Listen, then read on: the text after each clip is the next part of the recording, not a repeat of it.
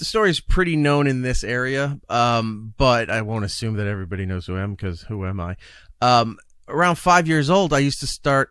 Uh, well, not I used to start. I started calling this morning show in New York City called uh, the Z Morning Zoo on Z100 with uh, Scott Shannon, and I, I, I was like five years old, and I would hear them give out the phone number. So I thought you could just call the radio station. So I used to just call, and he would put me on time to time. And I I lied because I thought you had to be an adult. I knew you could call, so I would lie and say uh, whatever my age was, and he would ask me these questions, and I was making it up as I went along. And uh, like he remembered this. I'm in some of their best of stuff from way back in the in the way where I would call, and it's obvious I'm lying, but I'm just matter matter of fact saying it like I'm an adult, so I could talk to somebody on the radio. And uh, ever since then, I the, and you know living in the suburbs of New York, there's just so much to listen to. At least at the time, that that's what got me into radio. It's just like you could do all of this stuff. You could just go on and talk. It, what made they made it seem so effortless. Like you could talk about whatever you want, whatever was going on. And when I was I guess junior high, high school, I was starting to try to figure out how people did all of this stuff.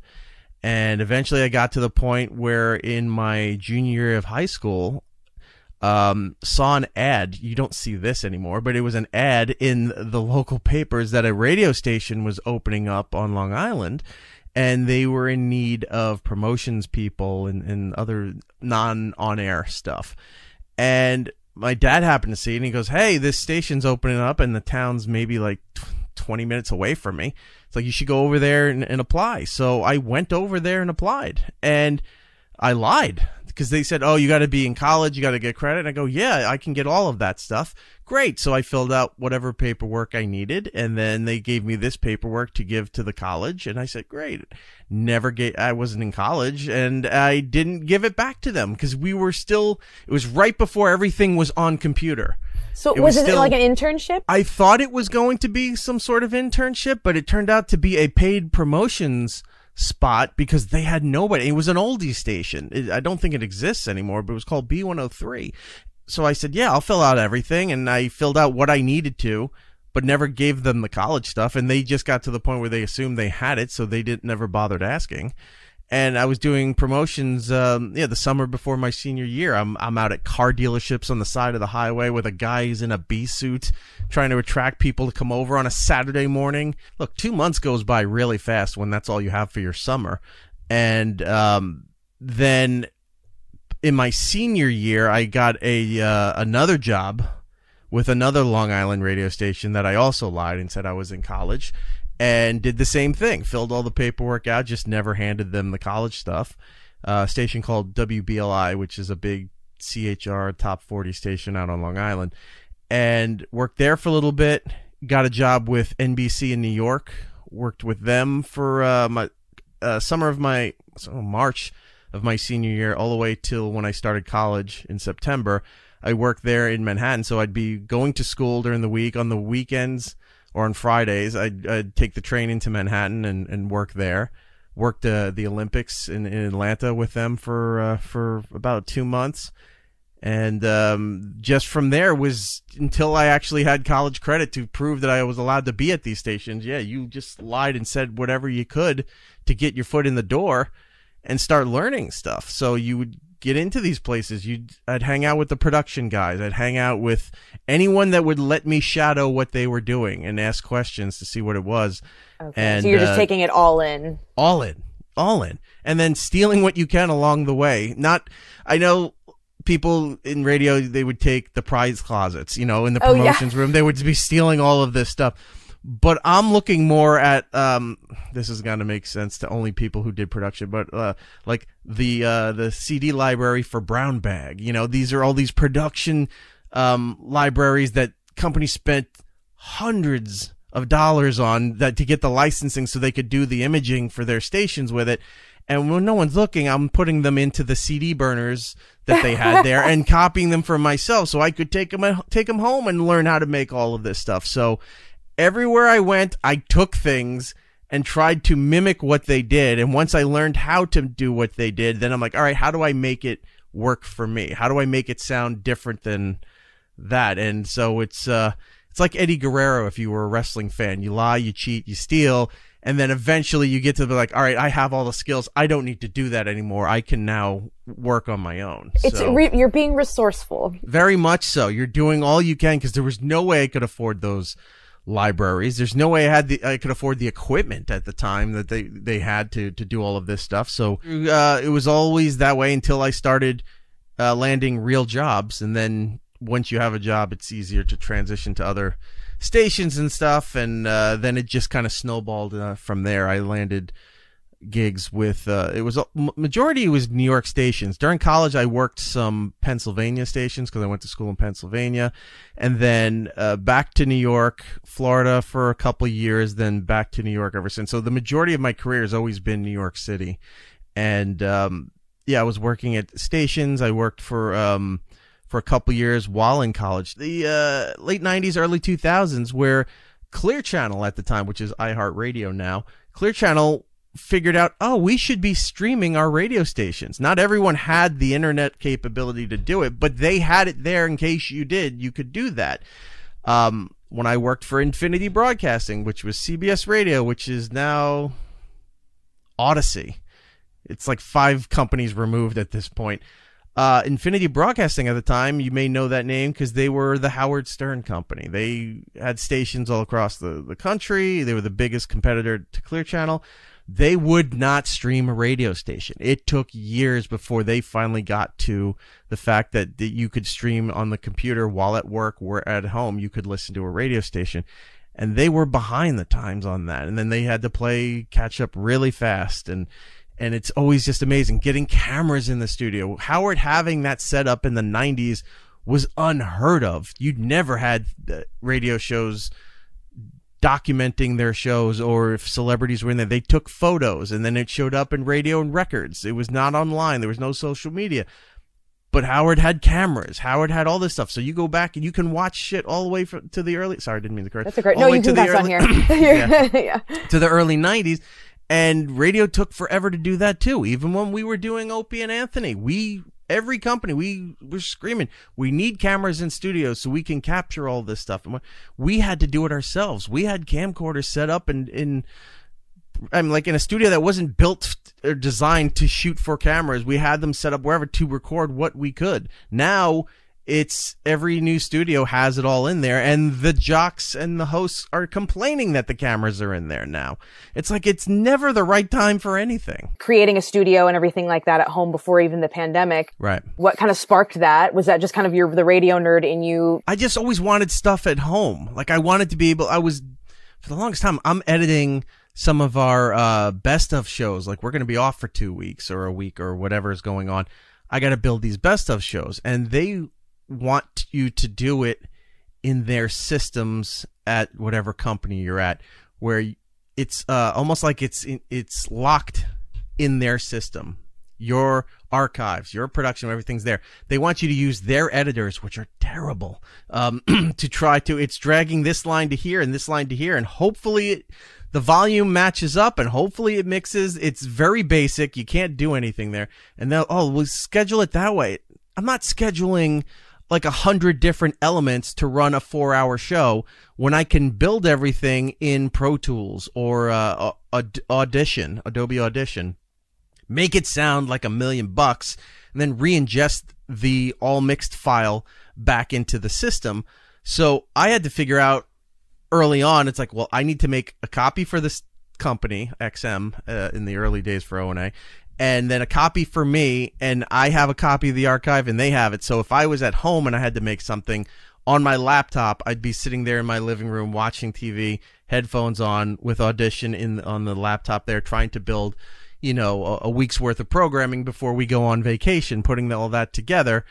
And I wanted to have a setup at home where if I needed to voice an intro or or something I had to change, I could just do it here, not have to go to the studios, record it, take the file with me, then mix it all together, and you're wasting, you know, half a day waiting to go back into work to to go do all that. If I could do it here from home, I could just run down to the studio. I can just put all this together and and have it done and do it on my time and actually be more productive and be more creative than having to sit there drive back into Manhattan, you know, and get there at five in the morning, do the show, try to get the other stuff done, and then I'm I'm leaving two o'clock in the afternoon to try to drive back before rush hour, which takes four hours in Manhattan. Uh, rush hour to get out of Manhattan to go home to do all this. Like you're wasting so much time traveling. You're wasting so much time waiting to do things at work when you can do some stuff at home. Um, I get it. People want to separate their job, and I, I understand that but I don't look at this as a job. I look at this as if I wasn't doing it professionally, I'd be home doing this anyway. I'd be editing all this stuff. I'd be here. I, I mean, I can show you this. It's a horrible system, but it, it helps me through here.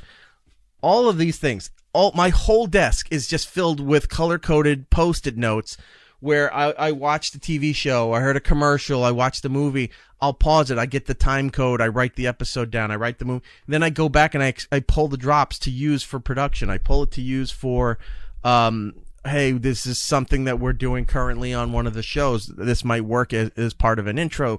Hey, I just heard this song on the radio. I Shazam everything now and I do a screenshot so I can go later. I'm like, I can make a rejoiner out of that. I can use this for a bed for production. I can do all of this stuff. That's all this is. It doesn't stop. So if, again, if I wasn't doing this for a living, I'd be doing this anyway just for myself. So I built everything at home just so I could do all of this. You don't do enough to let people talk in here. It's like you're reading a liner card and then little bumpers or throwing it to traffic, whatever. All right, that's a cost effective way to do the bare minimum that no one's really going to give a shit about your station. But there's so many people, and we met so many nice people at, the at the boot camp thing that are doing letting their personality shine with quick hits. Like fortunately some of them work in mornings so they can talk a little bit longer. But some of these people were middays, they were afternoons, they were nights and they couldn't talk as much. It's like let them talk. It's not like they need to go on a full 5 minute thing, but give them more than 15 10 15 seconds ramping into the next song. Let them talk for a minute like you're playing the new taylor swift album. Let them talk about the fact that she just went to target and she saw that the shelves were empty or that there was nothing that like whatever the experience let them be personable with the audience so that somebody can try to make a connection with your station and go, I like listening to them in the evening. I like listening to them in the afternoon. And then they're going to stay around. They're going to seek out what you do. When you're shutting everybody down, what's the point? You're listening to somebody else's playlist when you, when you do that. And look, we all have friends. We're all on Spotify or uh, Apple Music or any of those things. And we have friends that know us. We love them if they sent a friend sent you a playlist to listen to, not all the time, but the majority of the time, you're going to look at your phone and go, I don't want to listen to this. And they may have the, the best uh, intent uh, at heart and they may know you so well, but it's somebody else's playlist. Like, I don't want to listen to somebody else's playlist. And when people started to figure out in the last decade, oh my God, radio is just somebody else's playlist that I can't skip. I can't skip through the song. This is what radio is now that kind of killed the whole demeanor, the whole smoke and mirrors of being infatuated with the radio, thinking that the music was the answer for people there. It's the personalities. Let people talk. Let people do their thing. Work with them too. If they're going too long and it didn't sound right, talk to them off air and go, Hey, I think you went a little too long with that, but you know, do what program directors used to do. Now it's consultants telling you don't let people talk. Don't, don't listen to them be a hands-on manager work with your on-air talent say hey look i think this went a little too long. You're saying this particular phrase a lot and it's very noticeable. Let's try to work on that. Or here's an idea since you were talking about this maybe next time see if you talk about this and or did you see this movie this show bring that up or things like that is the stuff that keeps your audience engaged will increase your tsl if they even care about that anymore and now it's all just you know the clicks on the facebook page and and, and on the what's on the website. Uh, make sure you include your two your, your two blog posts every day. Yeah you got to have your two blog posts every day to talk about you walking around this no one cares. No one cares. Let your people talk. Help them develop and your station will benefit from this. You'll everybody wants the money now. They never think about, well, if we do this now, eventually it'll be a lot more money down the line because we had this in place. Nobody thinks that way anymore. It's like, get it now, get it now, get it now. Oh, I'm leaving the station. Oh, I've been fired, whatever. It's never the what's how this is going to look in the future. It's like, what can we take from everybody right now? And that's it. crazy that they haven't figured that out when you when you literally I mean you don't even have to pull numbers. You can just see by, you know, who you know the people that attend these things to go meet influencers that hours that people spend on youtube watching vlogs you know hours of podcasting that people listen to. Clearly there's not a problem with people listening to other people talk. So it's just crazy that all these people gravitate towards this yet you're right radio still takes out they don't want them to talk or have a personality but i'm yeah, like and they wonder why they when, you know like oh join this uh on air personality from uh, 2 to 4 on Saturday down at the Sunglass Hut, and they set up the tents and everything there, and they're wondering why they don't get anybody coming down to these promotions. You know, these poor air talent or the promotion people are stuck there and maybe four people came by and that was it. So now they're stuck talking with the business owner or the manager there and the manager's looking like, why did I spend this money? This did nothing for us. And they're wondering why it didn't bring anybody down, even if you're doing the live hits or whatever, because you don't let them talk. You don't have a connection with the audience. There's no, there's nothing there for people wanting to go down there and do all of these things. If you had something where it's like, I listen to this uh, this girl uh, on midday all the time, or I listen to these guys uh, in the afternoon all the time, and they're actually doing an appearance. I want to go see what they look like. I want to go meet them and everything because they're involved, they're invested. They don't let you do that anymore, and then they wonder why their their uh, their local promotions and stuff. Even when you're giving out tickets, you know, it used to be it's like, oh, we're going to give out Jingle Ball tickets. We're going to give out this stuff. People would race down there to try to get the tickets. Now it's like, do you give away the tickets? No, we still got like 19 pairs left, you know, we started with 30 and then we got to figure out what to do with this stuff. So even um uh, Sean Tempesta that you had mentioned, he you know because you, are right, no, especially the car dealerships, nobody goes to those um, remotes. But it was interesting because you know he was doing that streaming show, the free for all, and there was times over the pandemic where you know they would share pictures from the there and there was people that actually would show up but they were people that were locally that would that yes listened to him on the radio but knew him more from the show. And i think that's more why they were actually showing up because they felt like they had a connection to him because they were interacting face to face or on chat and things like that. And i think they ended up selling like four or five cars or something like that from people because then i think they built a trust there too. You know this guy that we interact with every day is talking about this place and he gets his car from there too. And and they're selling, and it's a small audience that was on Twitch compared to the huge one that you have on the radio. So it's why don't we marry them? When they realized that, you know, it's like, well, we could advertise on this celebrity podcast, and the reach is going to be, you know, several hundred thousand people or whatever. But the engagement is next to nothing. Like when they tweet out on the company account, it's like, oh, another episode of this, and you look uh, at the tweets, and there's maybe four likes you know, and you go, that's weird. So you go digging through their account again and you see there's little to no engagement and they're promoting these big names. But then you see a smaller name or local guy or maybe somebody who's sort of syndicated or something goes on there and you see that they got several hundred um, uh, responses and, you know, they're in the thousands as far as the likes go and the retweets and stuff.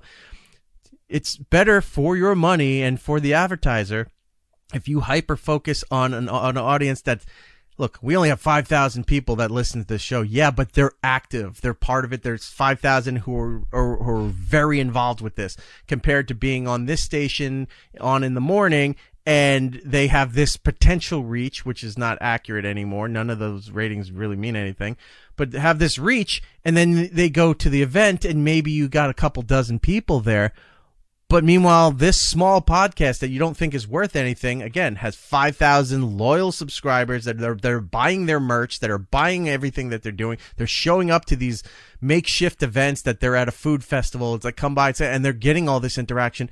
Spend your money on that. Spend your money on those smaller shows that knew how to do this right and interact and talk with their audience and be part of this. You could spend, uh, you know, five figures advertising on this morning show in whatever market but are you getting that return on your investment by doing that? Or we could focus on this show that really drove drove in a lot of business for our subscription service that we're advertising, or, or like um, you know, those food companies like HelloFresh and stuff like that. It's like yeah, it's like well, your audience, be it small, bought everything, so we're going to continue advertising with them as opposed to this major show where they sold nothing and listen to your shows too. If you're in management and you're in sales, listen to what's on your station. A lot of them don't listen, don't know anything about their on-air talent. And they're like, Hey, we want you to go do, we're going to give away NASCAR tickets. You're going to go down to the 7-Eleven, whatever. What? What? I'm, I don't, I'm not, no, we want you to do it. I don't want to do this. Why? because I know nothing about. Why didn't you ask the guy over, uh, you know, the midday guy?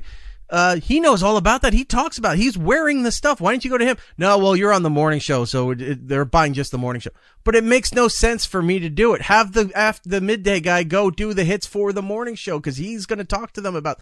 Like, know what the people's interests are on the on your station if these people, this person watches Netflix all the time, so if you're doing live reads for street, that's the person you want to do it. Or this person's into this thing here, figure out the personalities on your station, know what they're doing, so that also helps you sell. Like, you know, they're really interested in this stuff here. Let me see if I can get a sponsorship that ties into what their interest is or what they always talk about. And then you're getting in new revenue and creative revenue for all that. It's very lazy and very sterile with this world right now. They just like who somebody wants to buy, cool. All right, we'll give you nine shows, and uh, that's it. They don't care past that point. And then a lot of people now have multiple jobs for a position that doesn't require that. I, I've had some job opportunities where they've talked to me. I'm like, all right, well, here's the job. Here's what you're doing. You're going to oversee this. Okay, great. All right, now page two. Wait, what? What's page two?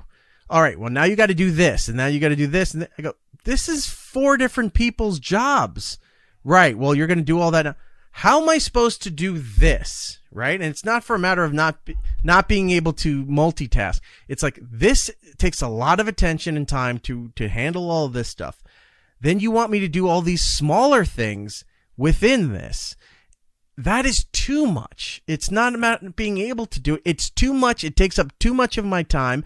And now you're, you're saying, well, I got to do the rest of this from home. So now I'm working even more hours than I normally would for this job because now you're adding four more positions to me and not paying me for them, by the way, or a slight increase that doesn't justify all the work you're doing. But these were other people's jobs. Now, I, so five, five positions I got to do now and you're going to pay me this. Yes. No, I'm not doing that. Well, somebody else will do it. Then give it to somebody else. Well, then we don't need you here. Then you don't need me here. I had um I was recently approached about voice tracking. And I said, "Oh, um, it's like uh, this company is like, oh, we'd like you to do some voice tracking." Okay. Um, where? And they told me some of the markets. I go, "Okay." How much? And they told me the dollar amount. And I go, "For the shift? I mean, for the, for an hour?" And they go, "No, for the shift." What? For the shift? Yeah, it'll take you like half an hour to, to crank out a four hour show for, you know, some station down in, in, in Tennessee. And you go, no. I said, I got to know what the playlist is on the station. I got to prep what concerts are in the area that fit that music thing, unless you have that list for me. Um, I got to find what's been going on this week to tie it into the air breaks. That no, you don't. You just got to read this stuff and read these little liners and all this other stuff. Go there. I go. No, there's still prep that needs to be done. I need an hour of prep before even going on to record stuff that would might, maybe would take me half an hour because none of it's live. But they want to pay you like 30 bucks. And you go, no. So turned down a, handful of stations, didn't do it. Then somebody else in the company uh, overheard and said, Did you turn down all the voice tracking stuff? Yeah. Why? That's easy money. I go, It's not easy money.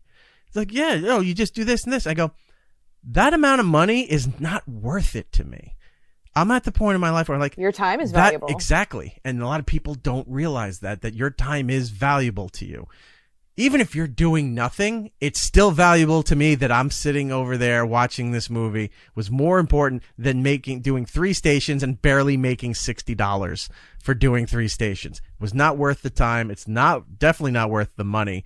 And they look at you like what? Why wouldn't you take this? It's an opportunity to, you know, so that they, it justifies you. I'm like, I'm, I'm not here to justify my job position all the time. I'm here to do a job and help other people and make them succeed so the company succeeds and all this other stuff. It's not, I need to come in every day to justify why I'm allowed in the building to do all of this stuff anymore my job should reflect on that justification of why you hired me and why I'm here.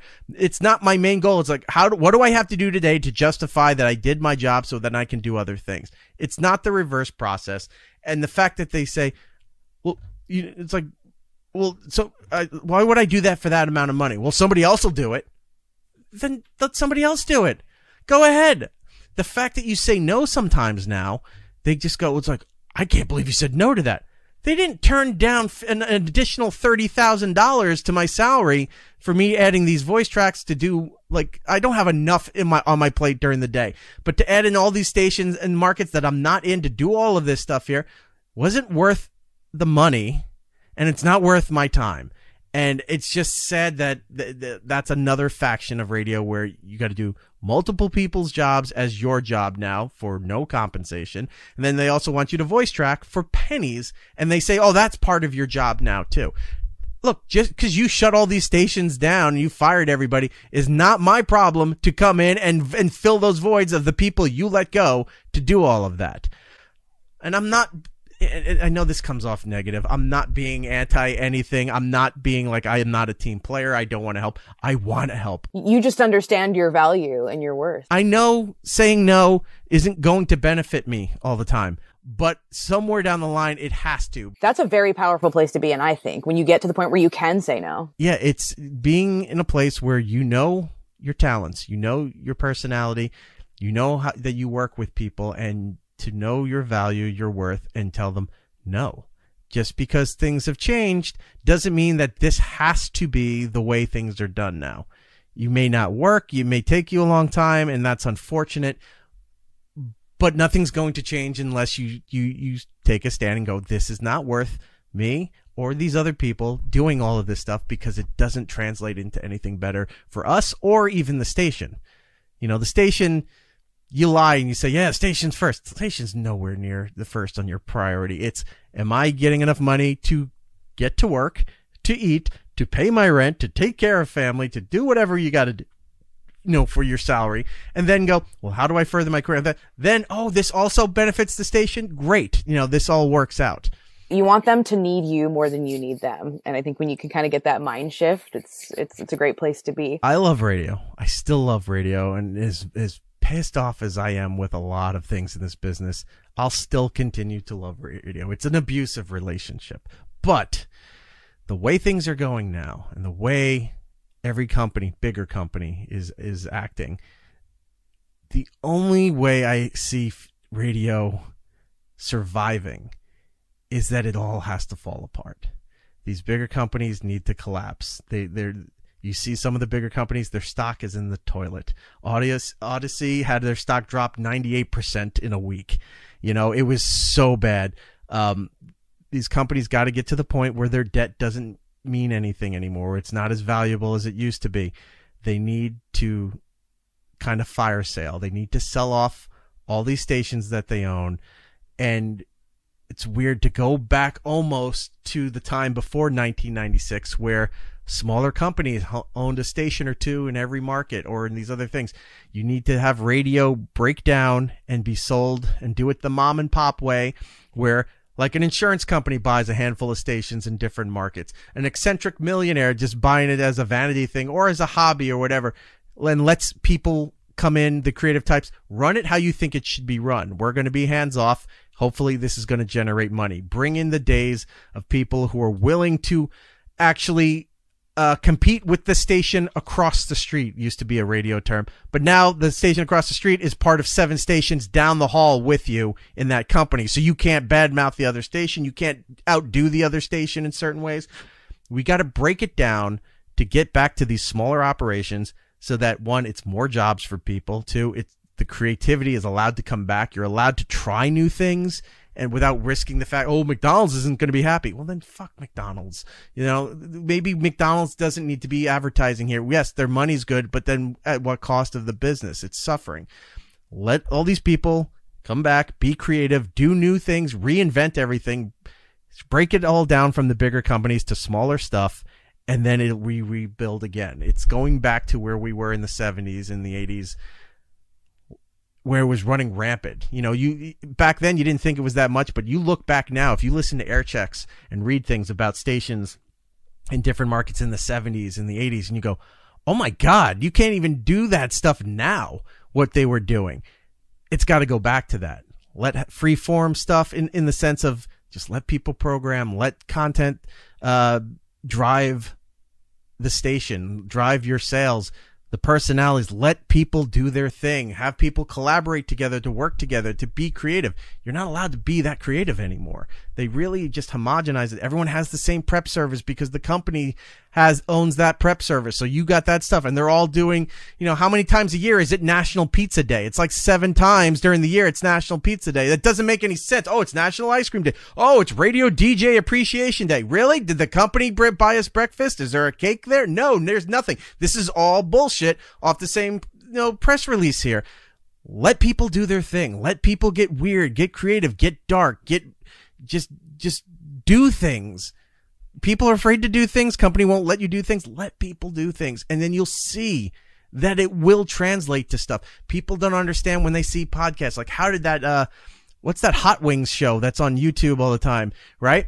That's just a guy who's eating hot wings with, with really spicy sauces talking to some minor celebrities and athletes. And then it built up to a bigger thing that's not a concept that should be anything that works, but it did because people enjoyed it. It was something different, something unique and creative.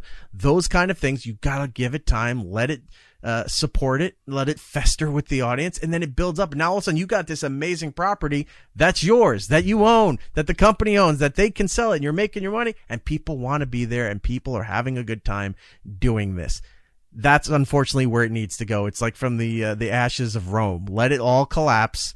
Let these small stations uh, go out and be bought up by other people, and let's start over again. Unfortunately, that's the only way I see that this business survives. Take a chance. Let people go nuts. It's like, hey, I'm going to bring in a morning show that nobody thought would uh, would ever take a chance on, but we're going to see what it does. Or we're going to bring these people in. You know, this this girl's crazy, but I think she might work here. In this, well, let's put her on at nights uh, for this station here. Let's just see what she does take nobody takes chances anymore. Right. I can't believe you played that song. Why? It makes perfect sense for this format, but it's not part of the 125 that were, you know, that we got we had the research on and that was studied and everything. But that's such a small playlist. You know that band has four other songs that we could but they didn't chart well on the radio.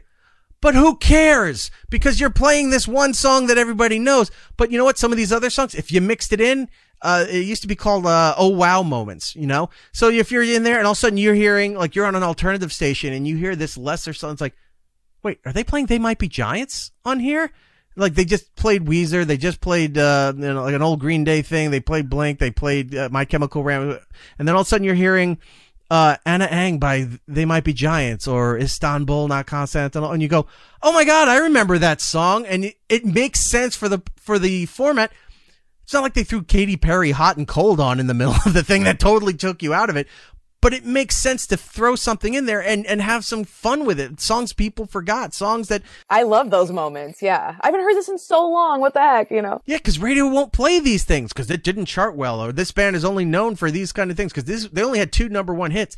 Yeah, but they had six in the top 10 and you're not playing them. Well, they didn't research. Stop with the research. Everyone knows the basics of what your format is. You have the staples. If you're a rock station or alternative station, whatever. Okay, you got Foo Fighters, you got, um, you got, uh, Pearl Jam, you got Nirvana, you got all the, what's is now classic rock stuff. You got all that stuff in there. But hey, you know what else you can throw in there too? It's like, hey, throw a little of, uh, MGMT in there. You know, they had three big hits that you don't hear on the radio anymore. Throw those in mix some Reel Big Fish into there. You know, one or two of their songs will fit in there. Throw some Goldfinger and then like, wait, what? And you start playing on there and you go, Oh my God, that's the song from Tony Hawk Pro Skater. I played that growing up and now it's back on the radio again.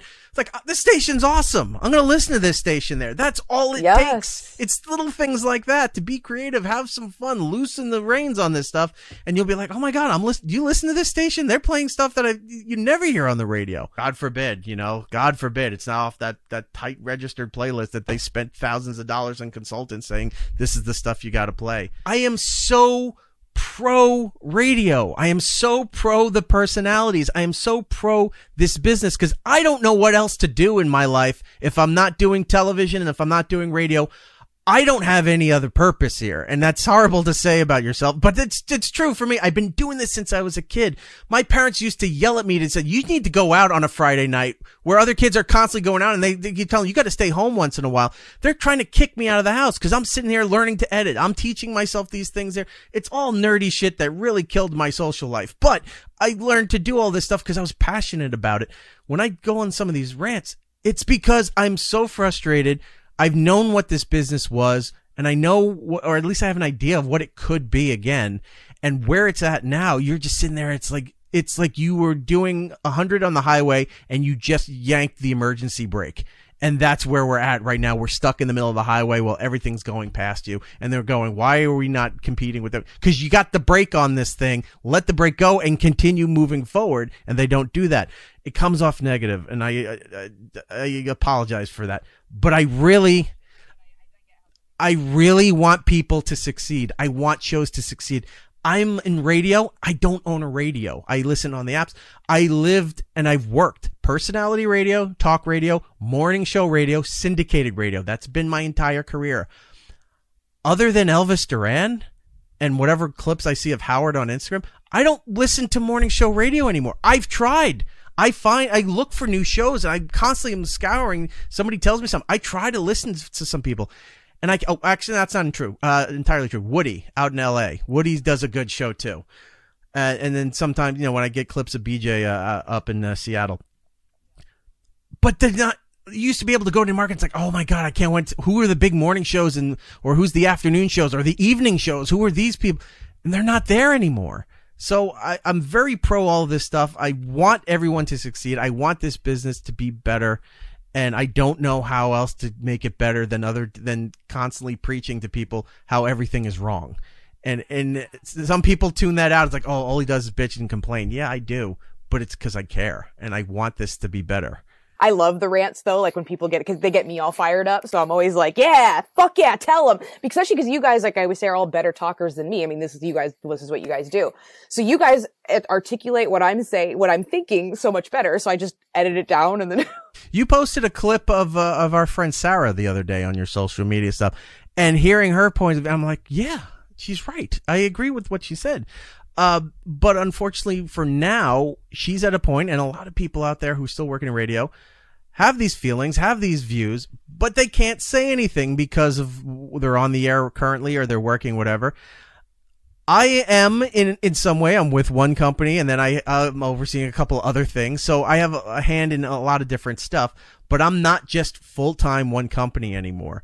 So, and even when I was, my whole career with Opie and Anthony's, we didn't give a shit. We said whatever we wanted, whether it was right or wrong was that's how we felt. That's how we felt. I'm not going to change that. I'm a team player. I can work with within the guidelines but i'm not going to change how i actually feel on things and i'm not going to make anyone else feel terrible. I'm not going to ruin things for people. But a lot of people that we all know work in this business and they can't say what they feel and they can't really voice their true frustration of what they're going through with their companies or what the industry is going through. And I've been like, I don't care because if you don't want to hire me, then don't hire me. Somebody else will. And if this person's afraid to say something or do something, oh no, you can't do that. Yeah, you can do that. You take a chance. That's the only way you're going to succeed. It may not pay off now, but somewhere down the line, if you don't take any chances, you don't get anywhere. If you start taking a lot of these chances, yeah, you may cause some problems, but what success story never had problems? You know, it's like, well, look, you thought you were down and out, then all of a sudden somebody took a chance or a company took a chance, and you tried what doing what you thought was right and doing what you did, and then all of a sudden it blew up, and then it worked, and you succeeded, and whatever. Thank God you took those chances. So, any of the people that we're friends with, or even the people I haven't met, um, you know, through your your network and stuff, who are out there in radio, I don't work in, in your stations. I don't do music radio, but I know your frustrations. I know what you're going through with all of this stuff. I see it. If you have a problem, tell it to me. I'll gladly yell it out because I don't care. I want to work. I don't care in the in the best it. way possible. I don't want to ruin things for people, but things need to change, and I don't care if people are going to get pissed off by. So you can't say that. Yeah, I can, because the way you manage sucks. Or the way this station sucks. Or the way this company is running everything sucks.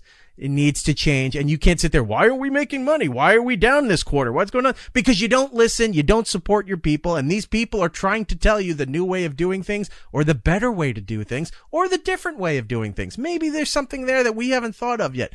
Listen to those people instead of just saying, do what we tell you and then wondering why nothing changes. So, uh, to all of you that watch Marie's, uh, radio fam stuff and support her and everything, keep doing so. Support everybody else because that's the only way any of us are going to succeed is if we help each other because these companies are not going to take care of us.